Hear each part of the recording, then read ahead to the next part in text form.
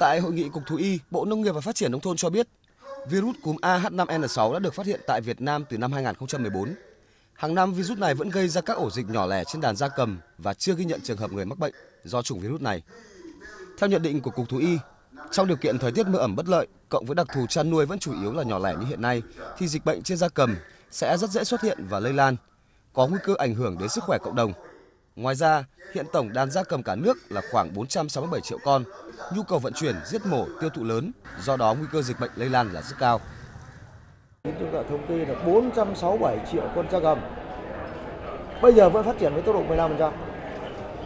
Nó tái đàn với một quy mô là gần 25 triệu con.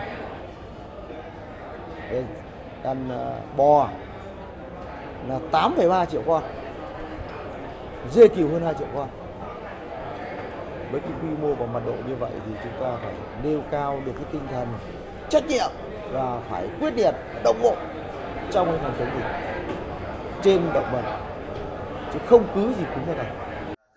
Theo Cục Thú y, chủng cúm AH5N6 hiện nay đã có vaccine ở cả trong nước và nhập khẩu. Tuy nhiên, người chăn nuôi được khuyến cáo nên mua vaccine tại những cơ sở uy tín để tiêm phòng theo hướng dẫn.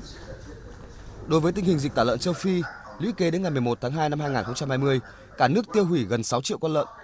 Hiện có 8.200 xã, chiếm 96% tổng số xã có dịch đã qua 30 ngày. Để triển khai các biện pháp phòng chống dịch bệnh trên đàn vật nuôi, đặc biệt là trên đàn gia cầm, hiện nay Bộ Nông nghiệp khuyến cáo người dân nghiêm túc thực hiện việc tiêm phòng vaccine, thực hiện đúng quy trình tiêm theo sự hướng dẫn của cơ quan thú y, đồng thời đẩy mạnh chăn nuôi theo hướng an toàn sinh học và thường xuyên thực hiện tiêu độc khử trùng.